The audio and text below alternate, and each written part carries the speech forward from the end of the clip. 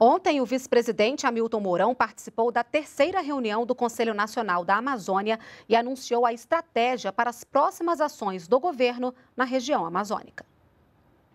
Após o encontro com os membros do Conselho da Amazônia, o vice-presidente Hamilton Mourão anunciou que será criado um contrato de objetivos, com metas claras de cada setor para a Amazônia daqui para frente. A partir da semana que vem, nós vamos realizar reuniões com os diferentes ministérios em relação a cada uma das ações prioritárias para que sejam definidas as metas e, a partir daí, colocadas em um documento chamado Contrato de Objetivo. Mourão disse ainda que a garantia da lei e da ordem segue até abril do ano que vem na Amazônia para combater as fases iniciais do desmatamento e melhorar o índice de queimadas. Mas, se houver necessidade, pode ser prorrogada. Para o ministro das Relações Exteriores, o trabalho do Conselho é fundamental para a busca de soluções para a região. Todos nós aqui estamos enfrentando ah, os desafios da Amazônia, não como um problema, mas como parte da solução. Sobre a viagem com embaixadores de vários países a partir desta quarta-feira ao Amazonas,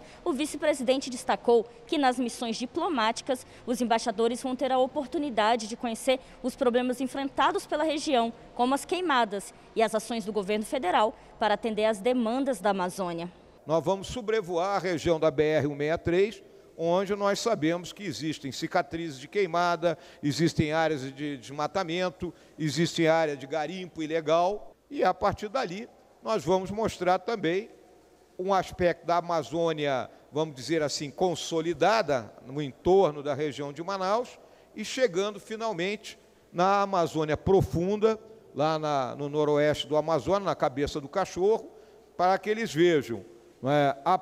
o estado que se encontra aquela área de selva, bem como o atendimento que é feito às populações indígenas, que é outra questão que suscita muita controvérsia.